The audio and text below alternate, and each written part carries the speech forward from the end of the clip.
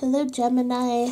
This is your tarot reading regarding love for the next three months. So, I am not going to lie, this is not the video I had intended on putting up. I actually filmed an entire series of soulmate videos as per the zodiacs, and so many of them uh, we're talking more about what I perceive to be friendships. And I mean, there are so many different types of soulmate relationships, not just romantic. But these ones, so many of them seem to focus on friendships. And with it being February and Valentine's Day, I just assumed that that was not what people were going to want to see in a soulmate video. So I'm now filming these love related and what we can expect for the next three months in terms of your love life tarot readings. Um, I still have all of those soulmate videos filmed. If you do want to see them, let me know down in the comments down below and I will put those tarot readings up. But yeah, I just I didn't feel comfortable. I mean, the readings are good, but I just didn't feel comfortable. But that that is what people would want when they clicked on a soulmate reading and being a new channel, it made me nervous. So, if you want to see those soulmate readings, understanding that soulmates are not just romantic relationships, they can also be friendships, they can be family ties, they can be so much more and so much deeper than just romantic. Um, let me know in the comments below if you want me to put that up, and I will because I mean, I spent many, many, many hours filming those videos, but um, yeah. And I do have, yes, an eczema flare on my hand, and it's it's there. It's I'm not going to ignore it. So that's what it is. In case you're wondering, I I have eczema. So, anyways, let's get into these tarot readings. So, what messages do you have for Gemini, Gemini, Sun, Moon, and Rising? Regarding love. Thank you. Okay. Four of Wands, the Tower, Princess of Wands, and the Ten of Wands.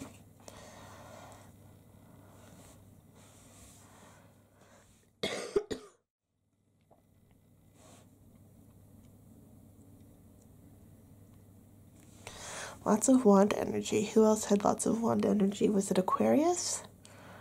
Or was it Pisces? Someone else had a lot of wand energy as well.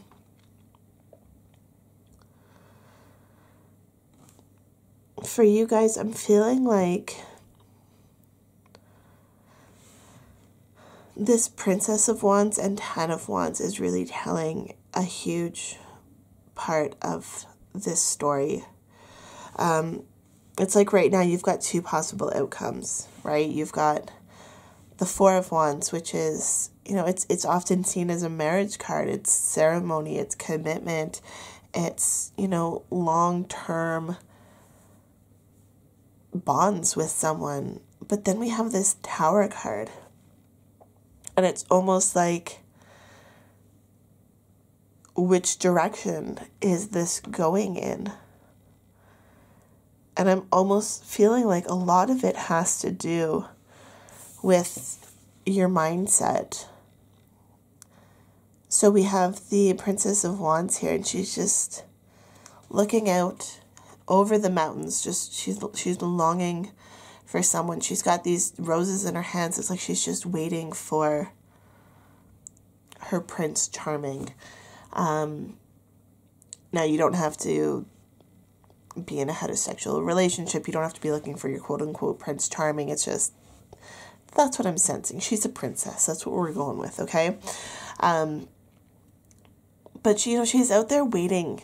She's longing and waiting, and it's almost like she's not feeling like she is deserving of it and she's just going to sit back and just wait for it to come because hopefully it's going to come and when will my prince charming rescue me okay and I feel like if this is the energy that you're going to be in, then this tower is going to kind of def- going to define your love life. Like it's going to be like you can't just wait around. You need to take action. You can't just rest on being a pretty face, you know? I mean, like, yeah, you're beautiful. We get it. But is that all you are? And I'm not saying that's all you are, but if that's all you're putting out to the universe, like so many say Disney princesses, where, you know, it's like, I'm I'm sleep I'm thinking of like Sleeping Beauty where she's just sleeping away and waiting for Prince Charming to come and kiss her and everything will be magical, right? It doesn't happen that way in real life, right?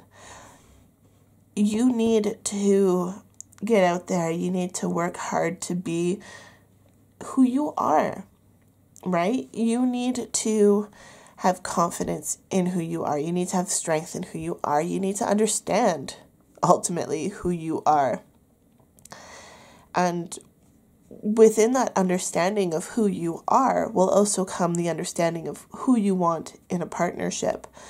Um, and now this might also reflect this tower moment because sometimes we have to have those bad relationships in order to understand what it is that we want. Okay? Um, bad relationships, quote unquote bad relationships that didn't that served their point in the time but are no longer relevant to who we are or where we're going, they were still a part of our story and were there for a reason. Okay? This tree, even though it's been struck by lightning and is falling down, still had a purpose in the moment and it could have taught you something. So instead of looking out into the distance for maybe that tree to regrow, um, what can you learn from that tree? You know, how can you um, move forward? Do you cut the tree up and you take it home and use it to heat your stove, right? Like, do you use it for fuel for your fire to reach for something better? Do you take the the tree and turn it into a tree house? Like who knows, right? Um, but it is about doing work, putting in the effort, and I'm like not really physically, right? Like I, I mean I know they're physically climbing up with these baskets of watermelons on their back, but this is more metaphorical work, understanding why past relationships haven't worked. Um, and understanding that maybe there are elements of those partners that aren't something that you want in a partner moving forward. Okay? Um, this could like this this could also really symbolize looking to the future so, what it is, sorry, what is it that you want out of your future? What kind of a relationship is it that you want? Do you want marriage? Do you want someone who is stable and helping you through thick and thin? Um, what is it that you want? Okay, it's it's really um, again, it's it's a mental process to figure out where you want to go with this relationship. Um, and I mean, I don't, it's bugging me that this tap is just running. I'm feeling like it really has something to tell us, but I'm just you know she's got these she's got these letters and she's just waiting longing for this person to come. And the water's just just flowing and flowing and flowing and yet she's standing there. And it's almost like you can't be stagnant where you are. I feel like this princess is really telling us so much about almost what's blocking you from moving forward, whether you're in a relationship or whether you are um, wanting a relationship to come into your life. Um, I'm feeling very stagnant energy. And this card with this flowing water is just saying like you need to get moving, whether it be your physical body moving, whether it be your thoughts moving. There's just the things that need to move. And maybe that's where this tower comes in. Maybe something has to fall down. Something has to be changed in order for um, relationships to move forward for you. We've got two very positive cards on the outside, but we're kind of stuck in this this energy. Maybe this is being hung up on a past relationship, which is which is preventing you from moving forward with a new relationship.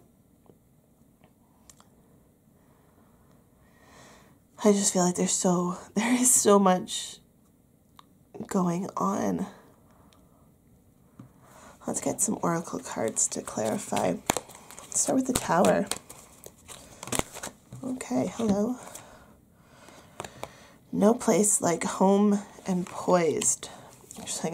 She looks pretty poised, so I'm gonna put that there. And no place like home underneath the treehouse.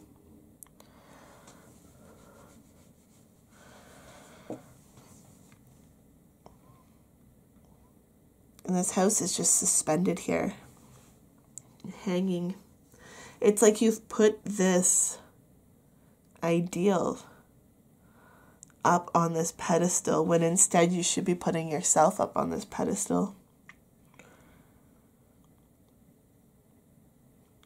Are you wondering if you're even worthy of love, Gemini? Maybe that's what it is. You're afraid to put yourself up on this pedestal. So instead, you're putting kind of this um, idea of the perfect home life, the perfect partner, the perfect, perfect, perfect, whole idea of perfect up on this pedestal when really you should be putting yourself up on the pedestal. Fork in the road. Yeah, you need to change there's you need to change directions. It's interesting because we've got this no place like home and it's kind of like hanging from this shepherd's hook in the middle of nowhere. Like it feels like it's unachievable for you. And then we've got this 10 of wands, which is, you know, I was originally seeing it as like, look at this bounty that they're taking home. But at the same time, look how far away that house is. And are you feeling like it is so far away?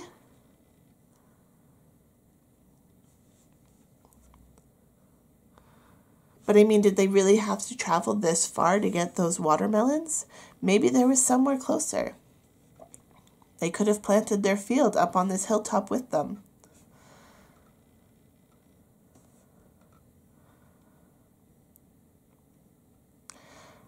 I feel like the best advice, Gemini, that I can give you for love for the next three months is to focus on yourself. Okay? Focus on what it is that you want. Focus on your skills, your abilities, um, what makes you capable and deserving of love because you are deserving of love. But it's like you need to be able to put yourself up on this pedestal instead of the relationship.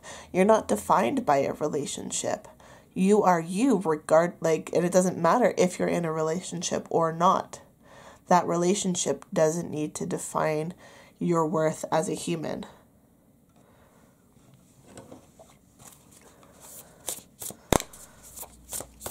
Between this fork in the road and the tower it's like there's something that needs to change. And i'm really feeling like it's your mindset of constantly searching for something that is perfect perfect never really exists. Like, I hate to break it to you, but perfect is the killer of good. I witness the darkness and call on the light with my prayer. Thank you, universe, for guiding me to perceive this fear through the eyes of the teacher of love. Yeah, what are you afraid of? By putting this up on a pedestal, It's like you're saying that you're not worthy of it, and why?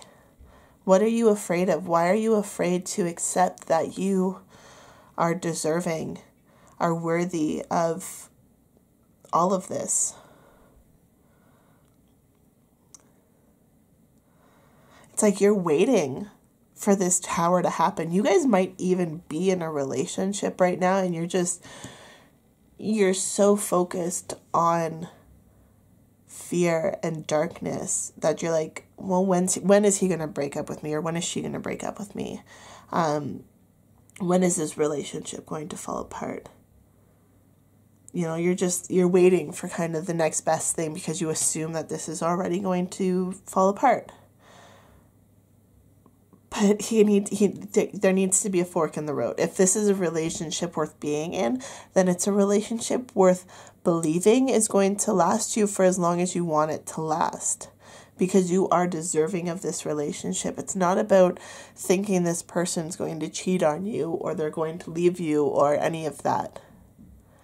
It is about enjoying the moment and understanding that you are worthy of each and every moment full of love um, and seeing past this fear. I feel like this fear is really from past conditioning, and it is going to take a lot to move forward from. But we need to go with the flow instead of trying to stop it. And maybe that's why I was being so drawn to this spigot with the water always coming out. You know, you need to stop trying to stop it. I was like, turn off the water, you're being wasteful. But maybe it's not about stopping this flow. And it's about letting things flow through your life. Sometimes we need to let go of things. Sometimes we need to let it continue through. But it's not about being afraid, it's about learning that every moment is valuable and that we can embrace every moment. So that is my reading for you, Gemini. I hope you enjoyed it. Um, let me know down in the comments below if you want me to put up that soulmate video. Um, I feel like Gemini was one of the few that actually did seem like it was in regards to a romantic relationship, but I can't remember now. Um, but yeah, let me know if you want me to put that up. And if you enjoyed this reading, please hit the subscribe button, and I will see you in the next video.